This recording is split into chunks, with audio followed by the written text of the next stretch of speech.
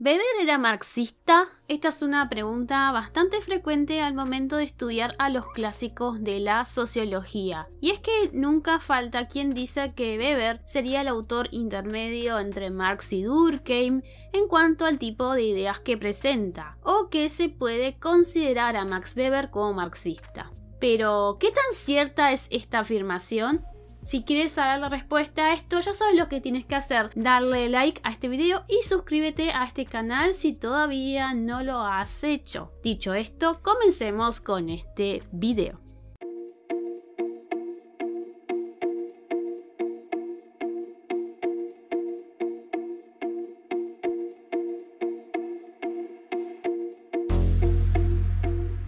En cuanto a la pregunta sobre si Weber era marxista o no, Déjenme decirles que no hay una sola respuesta. Según George Ritzer, en su texto Teoría Sociológica Clásica, es importante tener en cuenta el grado de familiarización que tenía Weber sobre la obra de Marx, explicando que apenas lo estaba, ya que buena parte de su obra fue publicada y difundida después de la muerte de Weber, por lo que realizó más críticas a los marxistas de la época que al propio Marx. Ritzer explica que lo que más criticó Weber a Marx fue el determinismo económico. Weber tendía a considerar a Marx y a los marxistas de su época como deterministas económicos que ofrecían teorías monocausales de la vida social. Es decir, pensaba que la teoría marxista explicaba todos los desarrollos históricos a partir de sus fundamentos económicos y que, de acuerdo con ella, todas las estructuras contemporáneas se erguían sobre una base igualmente económica.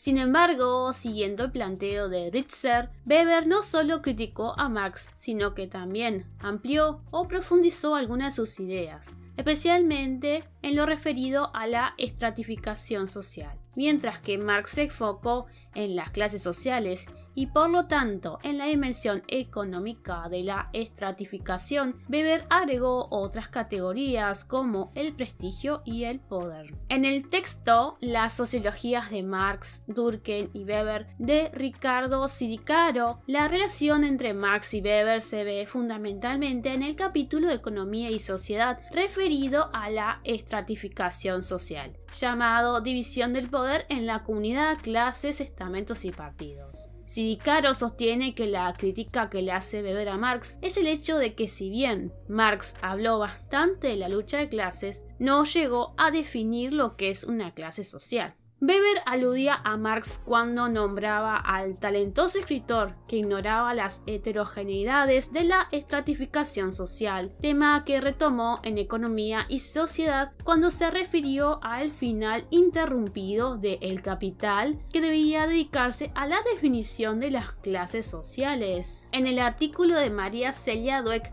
llamado Max Weber, Posición política, posición teórica y relación con el marxismo en la primera etapa de su producción, se exponen algunas interpretaciones encontradas sobre este tema. Entre los autores que se mencionan en dicho artículo es interesante la postura de Talcott Parsons, ya que analizó la obra de Weber en su texto La estructura de la acción social, sosteniendo que en Weber hay una etapa inicial donde presentaba un sesgo materialista marcado, pero que conforme fue avanzando, especialmente a partir de 1903, se puede observar en Weber una interpretación antimarxista del capitalismo moderno y que la crítica es hacia el materialismo en este artículo también se menciona la visión de Juan Carlos Portantiero, quien considera que la crítica de Weber a Marx es sobre el hecho de que el marxismo pone al conflicto de clases por encima de otros conflictos sociales lo que para Weber significa un empobrecimiento del conocimiento de la complejidad de la sociedad, o sea, limitar el análisis de los fenómenos sociales a la lucha de clases resulta en un enfoque simplista y reduccionista. Entonces, ¿Weber era marxista?